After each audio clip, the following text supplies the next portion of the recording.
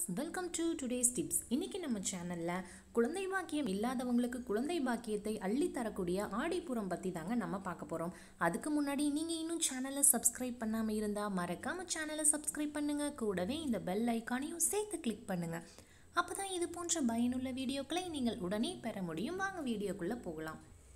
ஆடி மாதத்தில் பூரம் நட்சத்திரம் அன்னைக்கு கொண்டாடப்படுறது தாங்க ஆடி பூரமாகும். அம்மனுக்கு விசேஷ நாட்கள் பல இருக்குங்க. அதில் மிக முக்கியமானது ஆடி மாதத்தில் பூரம் நட்சத்திரத்தில் வரக்கூடிய ஆடி பூரம் தாங்க இந்த நாள் அம்மனுக்கு மிக சிறந்த நாள் அப்படின்னு தாங்க சொல்லணும். இந்த வருஷம் பதினொன்று எட்டு ரெண்டாயிரத்தி இருபத்தி ஒன்று புதன்கிழமை அன்னைக்கு ஆடிப்பூரத்தன்னைக்கு குழந்தை செல்வம் இல்லாத தம்பதியர் விரதம் இருந்து அம்பிகை வழிபாட்டை நம்பிக்கையோடு செஞ்சீங்கன்னா குழந்தை பாக்கியம் கண்டிப்பாக கிடைக்குங்க. ஆடி மாதத்தில் சூரியன் கடகராசியில் சஞ்சரிப்பார். அந்த மாதத்தில் சுக்கரனுக்குரிய நட்சத்திரமான பூரம் வர நாள் தான் ஆடிப்பூரம் அப்படின்னு சொல்லப்படுதுங்க.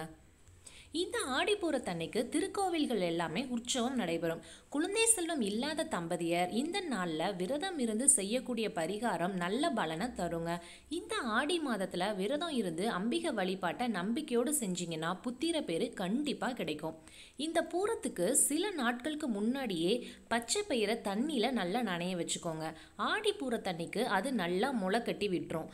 அதை அம்பிகைக்கு நெய்வேத்தியம் செஞ்சுட்டு குழந்தை வாக்கியம் இல்லாத பெண்கள் சாப்பிட்டீங்கன்னா வாரிசு கிடைக்கும் அப்படிங்கிறது நம்பிக்கைங்க.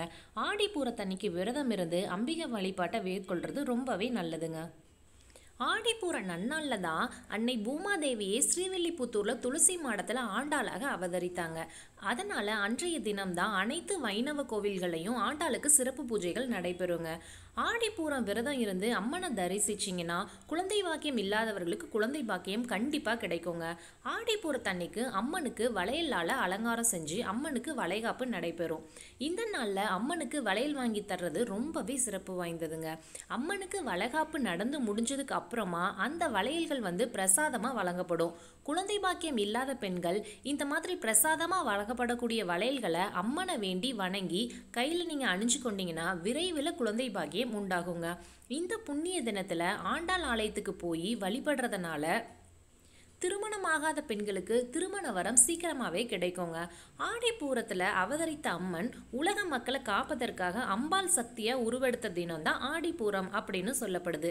ஆடிப்பூர நல்லாளில் சிவ ஆலயங்களில் அன்னைக்கு வளைகாப்பு நடத்துவாங்க. தாய்மைக்காக காத்திருக்கக்கூடிய பெண்கள் அன்னைக்கு வளைகாப்பு நடத்துவதற்காக வளையல்களை வாங்கி கொடுத்து தங்களுக்கும் விரைவில் வளைகாப்பு நடைபெறணும் அப்படின்னு நீங்கள் மனசார சாமிகிட்ட வேண்டிக்கணுங்க. இந்த மாதிரி நீங்கள் மனசார அம்மனை வேண்டி வணங்குனீங்கன்னா கண்டிப்பாக உங்களுக்கு குழந்தை பாக்கியம் சீக்கிரமாகவே கிடைக்குங்க. ஓகே வியூவர்ஸ் இந்த வீடியோ உங்களுக்கு பிடிச்சிருந்ததுன்னா மறக்காமல் சேனலை சப்ஸ்கிரைப் பண்ணுங்கள் லைக் பண்ணுங்கள் ஷேர் பண்ணுங்கள் தேங்க்ஸ் ஃபார் வாட்சிங்